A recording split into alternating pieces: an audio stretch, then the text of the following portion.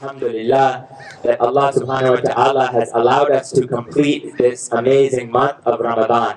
That 29 to 30 days of fasting for the sake of Allah, of standing hopefully in prayer in some portion of the night prayer for the sake of Allah. And the one who did this, inshallah, for all of us, and did it with sincerity, as the Prophet tells us, that the one who fasts, man sama Ramadan, iman and wahtisab, and the one who fasts Ramadan with faith and with a expectation of the reward will emerge from the month forgiven, will be forgiven for their past sins. And so the believers, alhamdulillah, the, one of the reasons why we celebrate this day of Eid is to be grateful to Allah for the forgiveness that we've achieved in this noble month of Ramadan and for the purity that we've achieved in this noble month of Ramadan. And when this forgiveness is achieved, when this purity is achieved, what happens? A light comes in the heart of the believers. The believers always have a light, but this light increases and it becomes stronger and stronger and stronger. And you and I, we become more and more purified.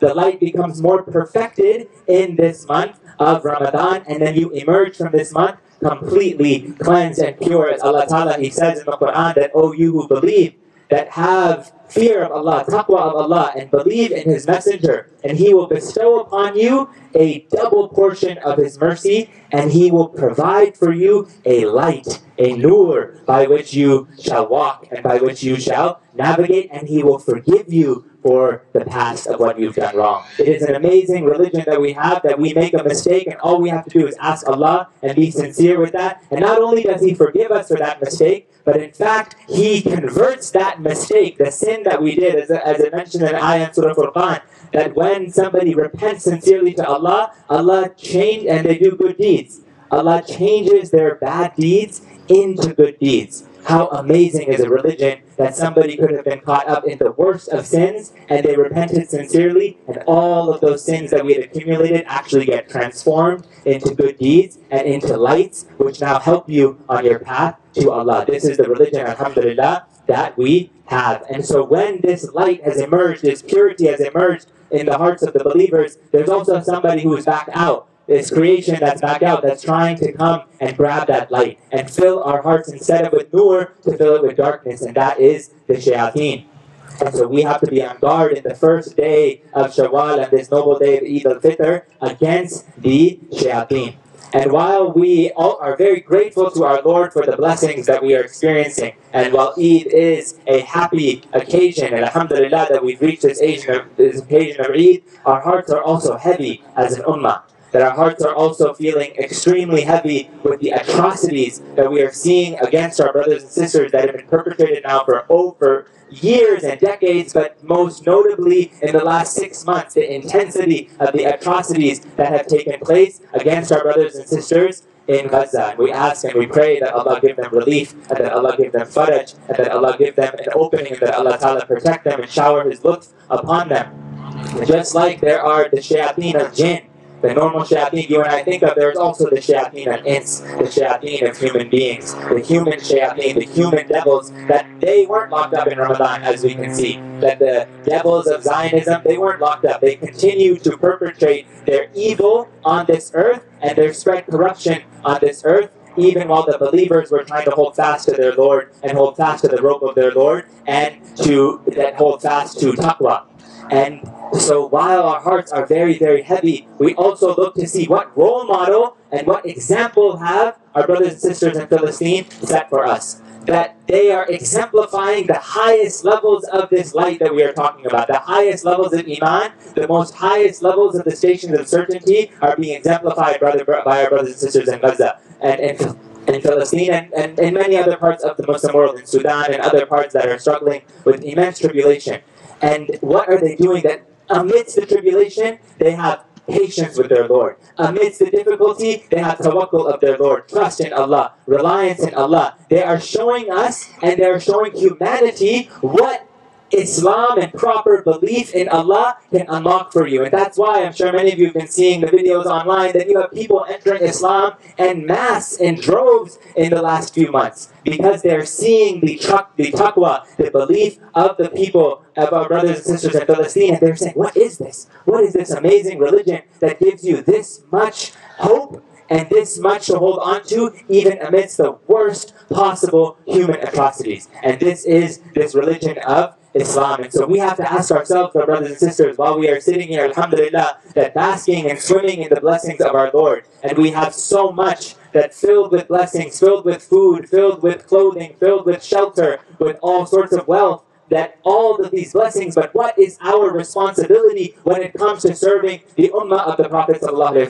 Because there are people who, that are brothers and sisters in many parts of the Muslim world, as they continue to struggle, they hold firm to their faith. They struggle with themselves. They struggle in the path of Allah for the sake of this deen, and we have to ask ourselves on this day when we've emerged pure, inshallah, from the month of Ramadan. The biggest thing that the shaitan wants you to the shaitan wants to get to right now is to try and limit our human potential because he knows the potential of the human being. He was jealous of Adam alayhi salam and he knew the Adamic potential that Adam alayhi salam had, and so he was envious and arrogant and he was jealous and then he was cursed because of that. So he's waiting to try and mess that potential up because each and every single one of you here, every single one of us here has a special purpose for why Allah put you on this planet. It's not just to go through the motions of the day-to-day lives, go to work, come home, watch Netflix, socialize, so on and so forth. That's not, that's the Western that structure, the way that, that people who are unsure of what their purpose is, that's how they operate. The Muslim, they never operated like that throughout our history. We always understood our fundamental purpose on this planet. وَمَا خَلَقْتُ الْجِنَّ وَالْإِنسَ إِلَّا لِيَعْبُدُونَ And we only created mankind and jinn to worship me, or لِيَعْرِفُونَ in order to know me. We, they understood that, and the ummah throughout history, throughout centuries,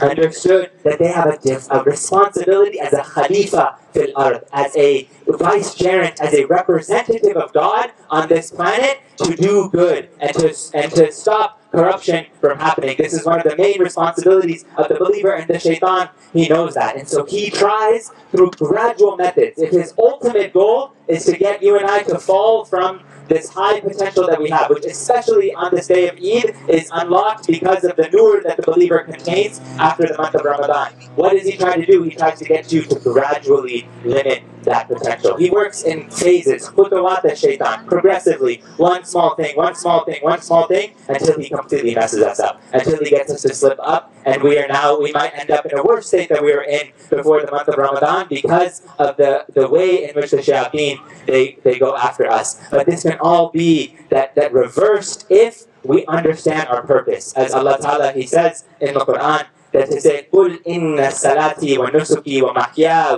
وَمَحْيَا وَمَمَاتِي لِلَّهِ رَبِّ الْعَالَمِينَ That say, my prayer, my sacrifice, my life, my death are all for Allah, the Lord of the worlds. This is the ultimate goal that the believer wants to get to. That it's whatever Allah has given me is for Him. Whatever I have is for Him. It doesn't mean you don't do things for your own dunya, but it's to use the talents that Allah has given you for His sake. It's like the wife of Imran alayhi salam, as Allah mentioned in Surah Al Imran she when she was pregnant she said i dedicate whatever is in my womb entirely to you entirely to you and to your service. And she was thinking that it was going to be a boy and that the boy would serve in the temple as they usually would do at the time if you wanted to dedicate them to the service of the temple. But who was born then? It was Maryam alayhi She was the one who was born to her. And she said, oh, Allah, it is, it's, it's, it's, a, it's, a, it's a girl, it's not a boy. Allah says, and Allah knew exactly who it was going to be. But what, what was that intention, the deep intention to dedicate what was in her to, for the sake of Allah, resulted in one of the most pious women to ever walk the face of this earth, a Sayyidah Maryam,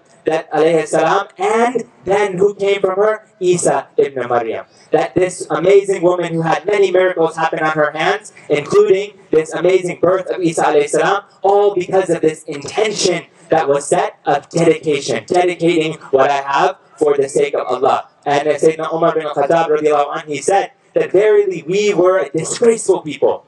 And Allah then honored us with Islam. He ennobled us with Islam. And he said, if we seek as Muslims honor in anything else from anything else besides that which Allah honored us, Allah will disgrace us. Because this ummah is supposed to seek its honor in the most noble of Allah's uh, creations and in the deen, in the deen, I mean Allah, Islam, that the, the way, in the way of Allah and the way in His sight is Islam. That's what we seek our elevation in. Not in our positions and in our titles at work and how much money we make and in how many homes we have, how many cars we have, how many vacation homes we have, and all of our investments and in our stocks and all of the different things that keep us caught up in the in the life of this dunya. Allah said that this this the human being has this love of shahawat, of these desires, mainly relating to wealth and to the life of this dunya. But that's not the purpose. We can do those things, but what if we use those things then for the sake of our Lord? But shaitan, again, he is trying to get us to mess up. He is the chief deluder. As Allah says, Ya ayyuhan nas, inna wa'dallahi haqq. فلا تغرنكم الحياة الدنيا ولا يغرنكم بالله غرور. That, oh people, Allah's promise is true, so do not let the life of this world, this present life, delude you.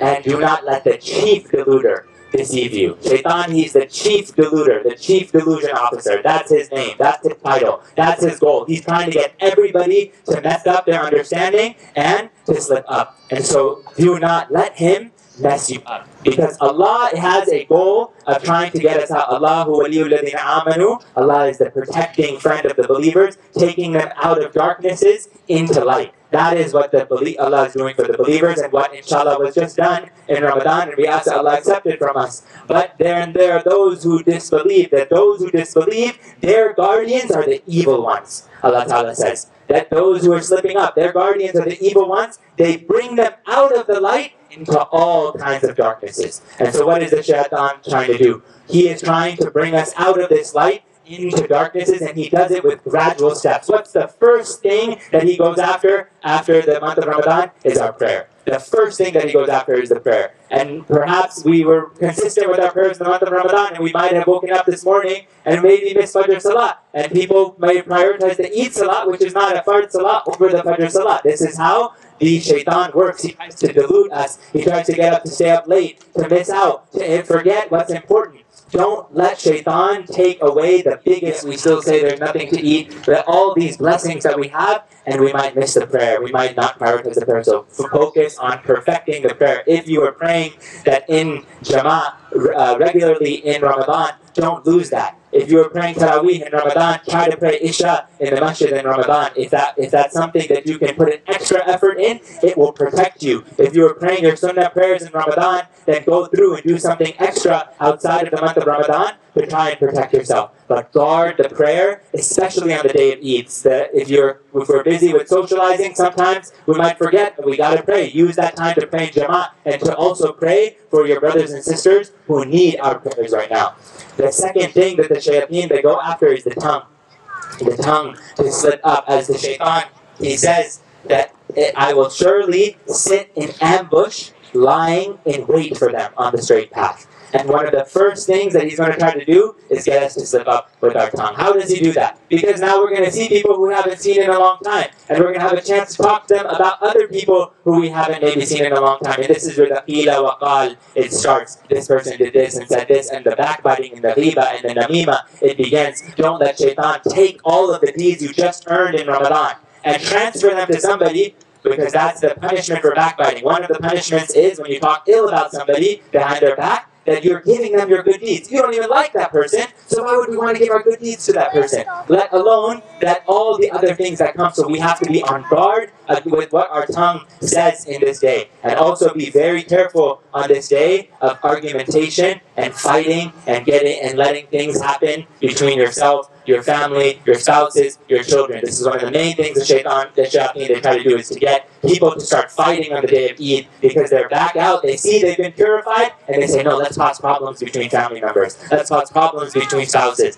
problems between children and parents. Do not let the deluder delude you and let him slip, let you slip up with the tongue and all of the other forms of the tongue, the sins of the tongue that we know of, we have to be on guard for that. And as the Prophet ﷺ, he says that the son of that the shaitan, he's lying in wait like like a like prey, like over the son of Adam, like a predator. And if the son of Adam remembers Allah, shaitan retreats. And if he forgets Allah, shaitan devours his heart. Look at the words that are used. They devour and lie in wait and the whisperer gets to them. So don't let this happen. Remember Allah, as soon as you're about to say something out of anger or out of uh, forgetfulness, we have to remember Allah, say astaghfirullah, la ilaha illallah, Allahu Akbar, whatever dhikr it is, and the shayateen, they will, inshallah, retreat. The third way that the shayateen, they try to get to us on right after, during the day of Eid and right after, is by trying to go after our modesty. That modesty is one of the chief traits of the believers. Haya, trying to be people of modesty, people of a type of shyness before their Lord. And what happens, Allah says in the Quran, O children of Adam, do not let say, shaitan deceive you as he tempted your parents out of paradise and caused their cover, their clothing to be removed in order to expose their nakedness. That this is one of the main ways that shaitan will slowly try to go after a society is to try to get them to become more and more immodest in their dress, in their appearance, in their actions. All forms of modesty are covered here, and this applies to men just as it, just as it does to women. That with regards to wearing tight, attractive clothing, that men are doing, that men in this society are doing all sorts of strange things that never would have been imagined before. And this applies also to our sisters, that to try and guard the modesty, to try and be careful. We just worshiped Allah for an entire month. It is not on the day of Eid that we now start to do things that would appear immodest in the eyes of Allah because we want to celebrate the favors. It's why we do so many takbirat in this day of Eid to try to be grateful to our Lord. And the fourth way that the shayateen, they try and get to us is our food intake. What was Ramadan all about? It was about restraining from food. It was about trying to stay away from eating things that are actually permissible. We stayed away, you know, it's 11 a.m., you can't just eat a banana because you're hungry. But today, you can eat a banana because it's Eid. You don't have to fast anymore. But a banana was always permissible. But in Ramadan, in a specific period of time, it becomes impermissible. But what the shaitan tries to do is after he sees this amazing light that's emerged from the believers, he knows one of the fastest ways to ruin that light and to spread darkness is through food intake. How so? Through trying to get us to consume things that are not halal in the sight of Allah and try to get oh, that, that cover our hearts with darkness. As Allah Ta'ala, He says in the Quran that, Ya ayyuhan nas, eat from what is on this earth lawful and good. And that don't follow in the footsteps of shaitan. Directly linking the food that you and I eat to following the footsteps of shaitan or not following his footsteps. And in another ayah, he says, Do not eat upon that which the name of Allah has not been mentioned at the time of slaughter, for indeed it is a grave disobedience, significant disobedience. And then he says that the shayateen, they will incite their followers to try to argue with you, to make you do this. And so if you're craving something, Chick-fil-A, In-N-Out, whatever these things are, say, you know what, I just fasted in the month of Ramadan. From now on, I'm just going to go for the vegetarian option. If you didn't eat the zabiha or halal, try and hold fast to that for as long as you can because the shaitan, this is one of the fastest ways for him to try and get the, the light out of us and to try and get us to gradually work towards, dark, uh, towards darkness. And remember, it's a slow erosion. He doesn't go after everything and everybody at once. It happens a little by little, little by little. But his ultimate goal is to get you and I to forget about our chief human potential that we have. It's Allah Ta'ala, He says, وَلَقَدْ كَرَمْنَا بَنِي آدَمَ And we ennobled Bani Adam. And He says about this ummah, كُنْتُمْ خَيْرَ أُمَّةٍ أُخْرِجَتْ النَّاسِ you were the best people ever sent forth to humanity. That's the ummah of the Prophet ﷺ. That's everybody here. That's what our brothers and sisters around the world are. That we are 1.5 some billion strong, and we have so much potential in us, but we can't let the shayateen take this potential away from us. Do not let them limit your light and try and spread darkness in your heart. أقول قولي هذا وأستغفر الله.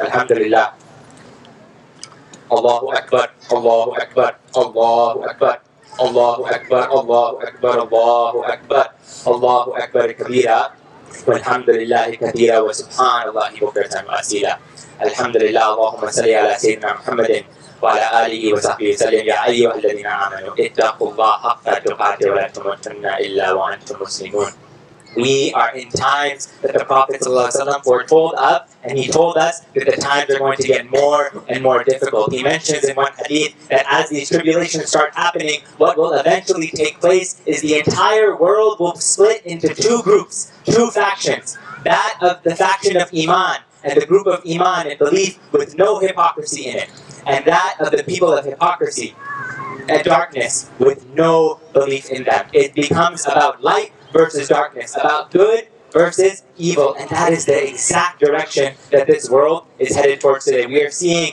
that in these tribulations that are occurring against the Muslims around the world, that you have people who very clearly are standing up for justice and for truth, and inshallah will be on the side of haqq and the side of faith, and then you're seeing people of extreme hypocrisy, next levels of hypocrisy that you couldn't even think, imagine, that the, the policies that governments around the world are implementing in the situation going on in Palestine, in this genocide, these policies are filled with hypocrisy on their way very clearly towards being in this faction of darkness. But the question is to us as mu'minun, as believers, is what are we going to do to preserve our iman when these times they get more and more difficult? How are we going to act? That's what we said. If it's not this Ramadan, which Ramadan is it? If it's not today, when is it going to be that we finally say, you know what, I'm ready to change for the sake of Allah. I'm ready to give my life and to give my, my, my moments and to give whatever I can in terms of my talents and my abilities and portion of my wealth for the sake of my Lord. That that is the goal that we want to have, and this is the time for us to unlock that goal so that the shayateen, they're seeing this power that the ummah has when it has so much light collectively. And they can't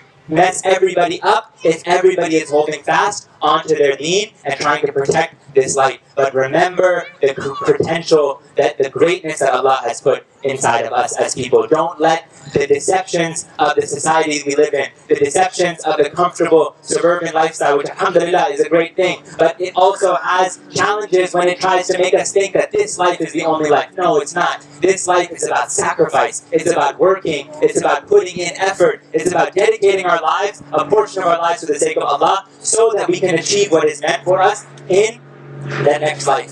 So we have to ask ourselves, what is our responsibility as an ummah, as people here in the West sitting among so many blessings, what is our responsibility for Palestine? That at minimum, the first thing we should be doing regularly is making dua for them. Regularly making dua with tears flowing and weeping while we are gathering, we have to think of them. Think about the children today, the child who woke up for Eid in Palestine, who didn't have his parents anymore to wish him Eid Mubarak because his parents had passed away in this brutal occupation, this brutal genocide. And the parents that who wanted to wish Eid Mubarak and give their child, their son, their daughter a hug, but they couldn't because their child, they had to bury them because of this genocide that's taking place. Think about the people who they don't have their spouses anymore to comfort them like we do in this day. They don't have their siblings anymore. This is what our brothers and sisters are going through. This is not a celebratory occasion for them because of the atrocities that have been taking place. So while we are in this state of shukr, we also have to keep our brothers and sisters in our dua and let the sacrifices that they've made move us to become better people for the sake of Allah and for the sake of this ummah. That this is the time for us to finally change if we never changed before. The next thing we can do for them is we should make an intention to look after the orphans. That there are many orphans that have emerged in Palestine, that are in Syria, that are in Afghanistan, that are all over the Muslim world, in many, many, many countries. That it's one of us can make the intention that, Ya Allah, when it's possible, I want to adopt an orphan. I want to take care of an orphan. I want to bring somebody in. Alhamdulillah, people are living comfortably, big homes, a lot of space, very, very easy lifestyles, which can help undo the trauma that these people that they have been through. The Prophet said that I and the guardian of an orphan will be in the Jannah like this, holding his hand, his fingers together. Literally will be next to him because your, your Prophet he was an orphan. He was an orphan. And he commanded us to try and take care of the orphans. And so make that intention that, Ya Allah, I'll put a little bit of extra effort and some sacrifice to take care of somebody who doesn't have their parents anymore. I want to be that love that they don't have anymore. I want to provide that love and that protection for them. And then there's also so many efforts that we can do. If you are blessed with wealth, that spread that spread that wealth Fisabilillah, serving people, feeding people, starting soup kitchens, whether it's in this society or all over the Muslim world, that we have a responsibility in our religion to feed those who are hungry. And when we are sitting with so much food, people will go to eat lunches and brunches and there'll be 10, 15, 20 options to eat from. And there are so many people around the world that haven't eaten for weeks. That there was fatwa coming out and people were asking people in Palestine, we heard this to somebody else, that questions literally, is our fast valid if we didn't eat anything for suhoor, but we fasted and we don't have anything for iftar? But we fasted? Is, there, is, the, is, the, is the siyam, is it still valid? That this is the hunger that's being perpetrated against our brothers and sisters. So then what about when we have blessing, unity, and mass is engaged in goodness? Goodness will emerge throughout the world from the Muslims. As we've seen the examples that there was once in the United States of America somebody who was an orphan. He was orphan when he was young, and he was caught up in the streets. And he was caught up in drugs, and he was caught up with that, uh, that all sorts of haram, prostitution, and all sorts of other things. And he was literally a gangster. And then he got thrown into prison. And after amassing lots and lots of wrong in his life, he got thrown into prison. And then in that prison, he transformed. That this orphan who had been abandoned, filled with trauma in his life, filled with difficult life on the streets, Allah transformed him in this prison, and he became one of the greatest American Muslims that we know of today as Malcolm X. That whatever lives we have lived in the past, it doesn't matter if we sincerely turn to Allah. Some of the best people who do the greatest work for the sake of Allah were steeped in so much haram and wrong before. Don't let that stop you because remember the one who repents sincerely to Allah. Allah will transform the bad that they've done into good. So that intention becomes very, very clear. And if we do that, if we dedicate ourselves to our Lord and we make that niyyah, know the reward that is waiting for you. لِلَّذِينَ آمَنُوا وَهَاجَرُوا وَجَاهَدُوا فِي سَبِيلِ اللَّهِ بِأَمْوَالِهِمْ وَأَنفُسِهِمْ